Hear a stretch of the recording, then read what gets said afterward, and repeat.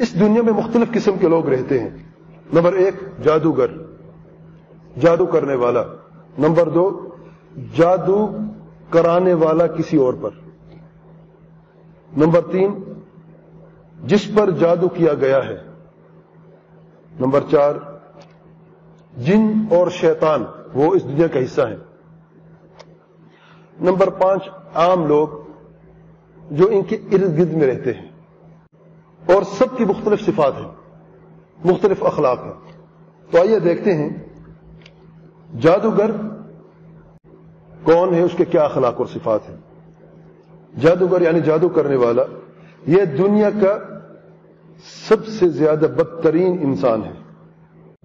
उसने खालिक और मखलूक दोनों के हक में हक तलफी की है।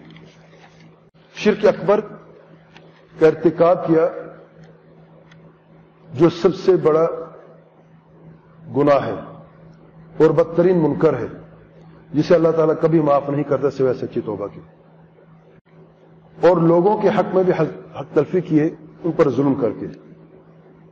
जिन और शैतानों की मदद से जादू करता है, शैतान को खुश करने के लिए अपने रब की नाफरमानियाँ, बल्कि अपने रब की नाफरमानियों के दलदल में गर्क होता जाता है और जितना ज़्यादा बदकारियाँ और अल्लाह ताला की नाफरमानियाँ करता रहेगा, उतना ही ज़्यादा शैतान उसके करीब होगा और उसकी मदद करता रहेगा। यह जादूगर जिसका दिल इंतहाई तंग और सख्त है, शिरक बिदअत और नाफरमानियों की कालक और पर्दे से लतपत हो चुका है। शर्म हया और गैरत और इज़्ज़त से दूर उसकी ज़िंदगी में सिर्फ़ एक ही मकसद है कि वो शैतान पर, कि शैतान उस पर कैसे राज़ी हो, ताकि वो अपने बुरे मकसद में कामयाब हो जाए। और जादू में, और जादू का असर मज़बूत हो जाए। शिरक के साथ साथ जो नाफरमानी जादूगर करता है कुरान मजीद की बेहरमती। और कुरान मजीद की बेहरमती की इंतहा। कुरान मजीद को हमाम की कुर्सी के नीचे दफन करना। कुरान मजीद को गलाजत से लिखना पेशाब और पखाने से। नाम होते जैफरान लेके हैं जैफरान पीले रंग का होता है। कि उससे हम आयत लिखना चाहते हैं, तवीज लिखना चाहते हैं। पेशाब और गंदगी से तावीज लिखे जाते हैं।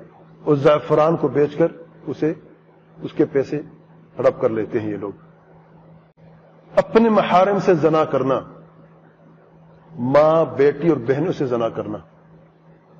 शैतान को राज़ी करना है, वरना शैतान कब उसकी बात करेगा, कब उसकी मदद करेगा? और जादू बगैर शैतानों के होता नहीं, याद रखें। बगैर जुने की मुदाखलत से जादू हो नहीं सकता। तो शैतान राज़ी होते हैं शिरक पर।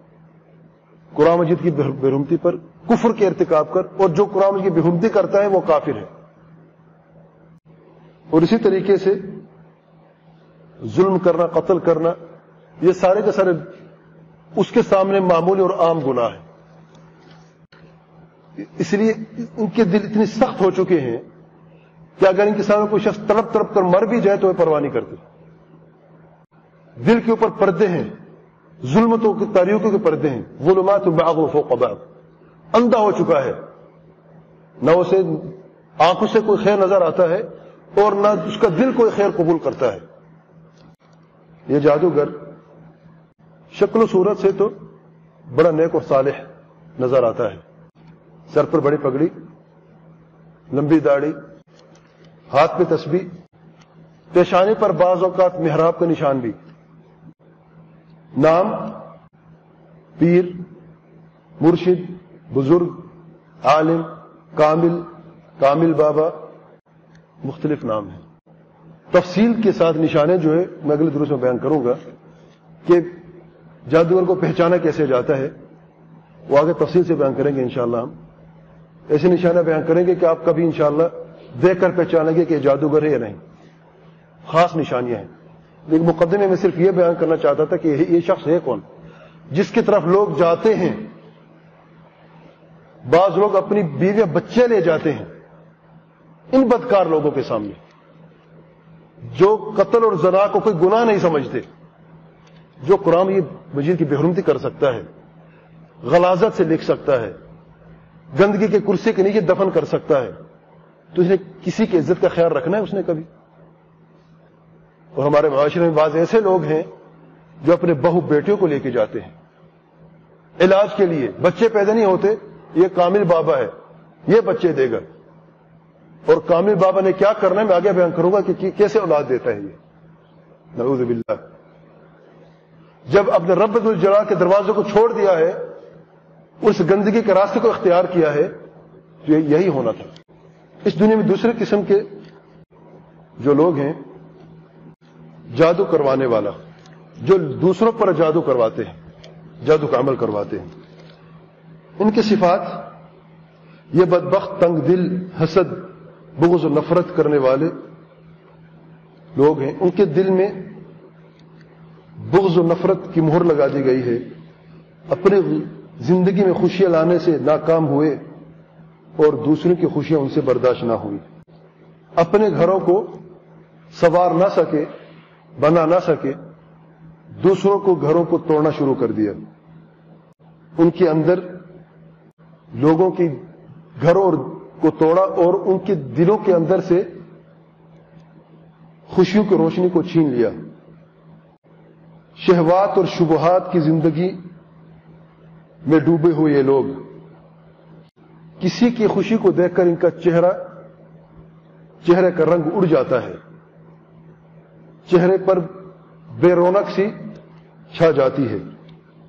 उनकी पेशानी सुकड़ जाती है आँखें सुर्ख हो जाती हैं। सांस फूल जाती है। दिल हसद बोझ नफरत से फटने को आता है। नाकाम अपनी ज़िंदगी नाकाम करने वाले ये लोग कभी कामयाब नहीं हो सकते। जो दूसरों के लिए खैर खा नहीं है दूसरों की ज़िंदगी में तबाह करने चाह, करना चाहते हैं, उनकी ज़िंदगी में कभी सुकून और इतमान नहीं हो, नहीं होता। नबी रहमत फरमाते हैं उस वक्त तक तुम में से कोई शख्स मोमिन नहीं हो सकता, उसका ईमान कामिल नहीं हो सकता, जब तक कि अपने मुसलमान भाई के लिए वो चीज़ पसंद ना करे जो अपने लिए पसंद करता है। इसलिए बेईमानी की ज़िंदगी गुजारते हैं। शुकुक और शुबहात में। तीसरे नंबर पर जिस पर जादू किया गया। ये लोग कैसे हैं? ये दो किस्म के लोग हैं। पहले किस्म, ये ऐसे लोग हैं जो खुद जादू करते हैं किसी पे, करवाते हैं किसी पे। खुद इस दुनिया का हिस्सा है और बुनियादी हिस्सा है। दूसरे पर जादू करते रहते थे, दूसरों ने बदला ले किसी, उन्हीं पर जादू कर दिया। जैसा करोगे वैसा भरोगे। शिकारी खुद शिकार हो जाते हैं बाज ये झूठे उलाव के मुहताज बेसकूनी की ज़िंदगी गुजारते हैं। कभी उस दरवाजे पर कभी उस दरवाजे पर। कभी तो किसी पर जादू करने के लिए जाते भागते थे। अब इलाज के लिए उन्हीं की तरफ़ भागते दौड़ते हैं। कभी उस पीर के पास कभी उस पीर के पास। शुकुक और शुभहात से दिल तंग हो, हो चुका है। सबको शक की निगाह से देखते हैं। अरे, जादू, मेरी माँ ने तो नहीं किया मेरे ऊपर? मेरी माँ ने किया है। उस दिन यूँ कह रही थी, मेरे भाई ने तो नहीं किया, बल्कि भाई ने किया है। बहू कहती, मेरी सास ने किया है। सास कहती, मेरी बहू ने किया है। शुकुक और शुभात की ज़िंदगी। क्यों? क्योंकि वो खुद दूसरों पर जादू करने वाले थे। आज वो खुद यह समझते कि हर तकलीफ़ जादू है। सर में दर्द हुआ, जादू हो गया। ठोकर लगी, गिरे, जादू हो गया। गाड़ी का एक्सीडेंट हुआ, जादू हो किसी ने जादू किया है। पेट में दर्द है, जादू है। कब्ज हो गई, जादू हो गया। हर तकलीफ़ जादू है। क्योंकि जैसे ज़िंदगी गुजारते हैं, जिस माहौल में रहते हैं, उनको वही कुछ नज़र आता है। और ऐसे लोग जो होते हैं, याद रखें, इतने तंग दिल हो जाते हैं, या तो वो जादू से ही मर जाते हैं, या खुदकुशी करके मर जाते हैं। बहुत कम लोग हैं जो बच जाते हैं, बहुत कम। या तो जादू को इतना संगीन असर होता उन लोगों पर? क्योंकि खुद शिर को बिदायत की ज़िंदगी पहले गुजार चुके हैं, वो अभी भी गुजार रहे हैं, और फिर जादू भी किसी ने कर दिया है। जादू किसमें आएगा कि मौत का जादू भी है, जिससे मौत वाकई हो जाती है? अगर दिल इतने तंग हो जाता है शरई इलाज की तरफ़ जाते नहीं, कुरान मजीद को जानते नहीं, और इसी तंग दिली में ज़िंदगी गुजारते गुजारते या खुदकुशी कर लेते हैं या जादू की वजह से मर जाते हैं। बहुत कम लोग, बहुत कम लोग ही बच जाते हैं। दूसरे किस्म के लोग, वो आम और मासूम लोग हैं, जो ना जादू को जानते हैं, न कभी जादूगर की तरफ़ गए हैं। किसी ने दुश्मनी की वजह से उन पर जादू कर दिया। वो इस दुनिया का हिस्सा नहीं है। वो इस बदकारी में, इस गुनाह में इन बदकारों के शरीक नहीं है। मैंने इनका ज़िक्र इसलिए किया कि उन पर जादू किया गया है, ताकि वजाहत हो जाए कि जो पर जादू किए गए, कैसे कैसे लोग होते हैं। तो ये मासूम लोग हैं। उनका जादू से कोई लेन देन नहीं है। अच्छे लोग हैं। इनमें बाज ऐसी अच्छाएँ अल्लाह ताला ने, इनको अल्लाह अता की हैं कि दूसरों ने, मुखालिफिन ने दुश्मन हसद करके करके उनकी इन अच्छाइयों के बदले में यह तकलीफ़ पहुंचाई और जादू किया है। जैसे कि जानते हैं, आपके प्यारे पैगंबर वसल्लम पर जादू किया। यहूदी औरत ने नबी करीम वसल्लम पर जादू किया। और साहबा कराम जमाने में बाद ऐसे बदतरीन लोग थे, मुनाफिक जो जादू करते थे। साहबा कराम पर हद कायम की। कत्ल कर दिया गया उन सैद उमर बिन खत्ताब सैद सैद हफ्सर अनहा और सैद जुमदुर से साबित है इन तीन साहबा ने जादू, जादूगरों को कत्ल किया। हद कायम करके उनकी। तो उस जमाने में मौजूद था। चौथे किस्म के लोग जो इस दुनिया में रहते हैं, शैतान, जिन शैतान। ये एक बुनियादी हिस्सा है जादू की दुनिया का। इबलीस के चेले, जिन्हें आदम सलाम की औलाद को जन्नत से महरूम करने की कसम खाई है, और उसे जन्नत का ईंधन बनाने का वादा किया है अल्लाह ताला से, और अपने सारी हिम्मत, सारी ज़िंदगी इसी पर लगा रहे हैं कि बनी आदम को जन्नत से कैसे महरूम करें? उनकी ज़िंदगी का सिर्फ़ एक ही मकसद है कि इस इंसान को, जिसकी वजह से हमारे बाप दादा इबलीस को जन्नत से निकाल दिया गया, इसको जन्नत से कैसे महरूम करें? और उसके लिए सबसे आसान रास्ता ढूंढते ही है शैतान, कि इस इंसान को ऐसे गुनाह में मुबतला कर दिया जाए जिससे वो दार से खारिज हो जाए। तो जादू के एतबार से शैतानों की दो, किस्में हैं जादू के एतबार से। नंबर एक सरदार शैतान बड़े शैतान। ये ऐसे शैतान हैं जिनके लिए जादूगर शिरक बिदात और अल्लाह तक नाफरमानियों का irतिकाब करता है इनको खुश करने के लिए। जब ये शैतान बड़े शैतान सरदार शैतान राज़ी हो जाते हैं तो फिर जो दूसरा किस्म के शैतान हैं जो इनके गुलाम हैं बड़े शैतानों के उनको इस जादूगर का गुलाम बना देते हैं। याद रखें, आम लोग ये समझते हैं कि जादूगर ऐसा अमल करता है कि शैतान उसके कब्जे में आ जाता है। यह बात दुरुस्त नहीं है। यह खुद जादूगर बड़े शैतान के कब्जे में होता है, बड़े शैतान का गुलाम होता है। उसके एवज में जो बड़ा शैतान है, वो इस जादूगर की खिदमत में एक छोटा शैतान बाँध देता है, छोटा जिन बाँध देता है, वो ही जादू करता रहता है, जादू का असर उसी शैतान की वजह से होता रहता है। तफसील कैसी मैं बयान करूँगा आगे, इंशाल्लाह, जादू कैसे होता है?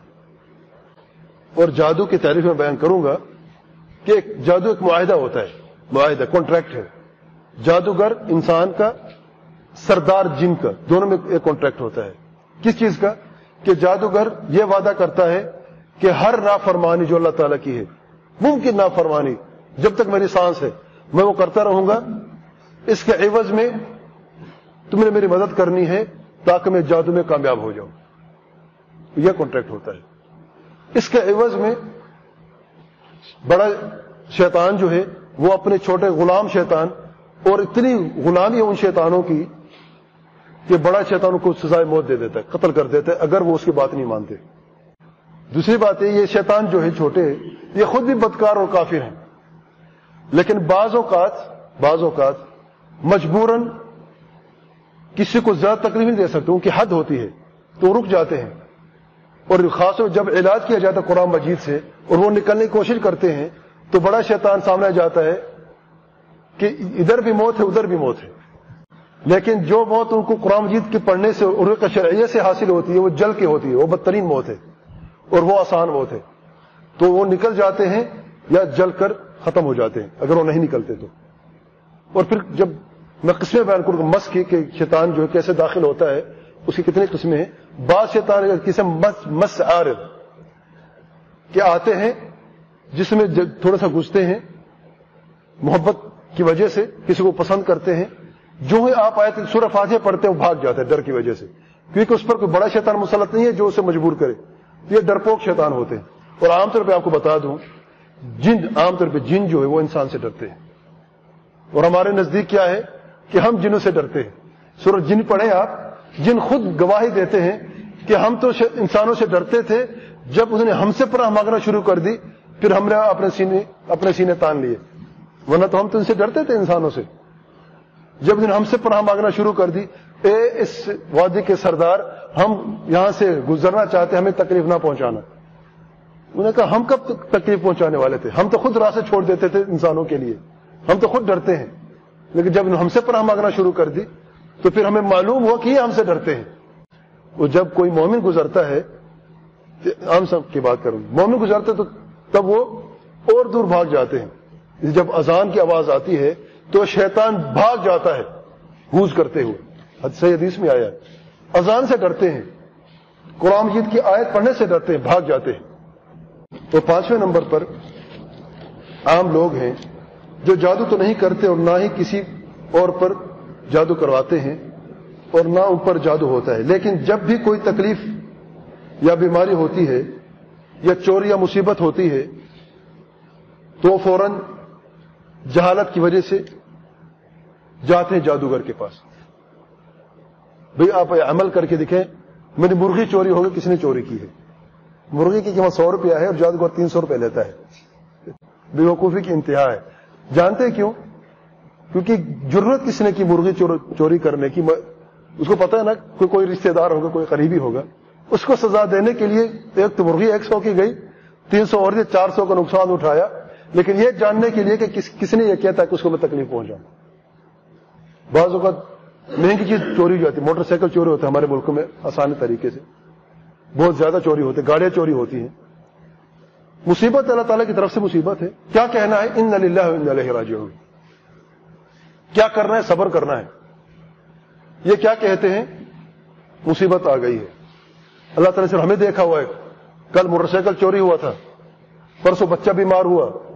आज गाड़ी खराब हो गई। सिर्फ़ हमें देखा हुआ अल्लाह ताला ने नवज और किया क्या है? लपके जादूगर की तरफ़। बेअमल करके दिखाए कहाँ पर है? मिल सकते या नहीं मिल सकता? जादूगर पर अपनी फ़ीस उसने लेनी है और उसे बता देना है। तो ये लोग भी बुरे लोग हैं। जादूगर के पास जाने वाला, अगर जादूगर की तस्दीक करते वो भी काफिर है। याद रखें, जैसा कि नबी अकरीम वसल्लम ने फरमाया है। आज के दर्स में इतना काफ़ी मुकदमे से सिर्फ़ मैं बात कर सका। अगले दर्स में इंशाला जादू की तारीफ़ से हम अपने दर्स का आगाज़ करेंगे और जो बाकी निकातों पर बात करेंगे। अल्लाह ताला से दुआ में इल्म नाफ़ अमल साल की तोफ़ी अता फरमाए कुरान और सुन्नत पर सलफ़ सालहीन रोश मनहज पर ज़िंदगी बसर करने की तोफ़ी अता फरमाए हमें हमारी जरूरियत को शिरक बिदात गुरफात जादू से नजात अता फरमाए सुबहान रबिक रब इज़्ज़त अम्मा यसिफून वसलाम अलहमदिल्ला रबालमीन वसल वसलम वबारक नबीन मोहम्मद वाला आलि वसहबी अजमैन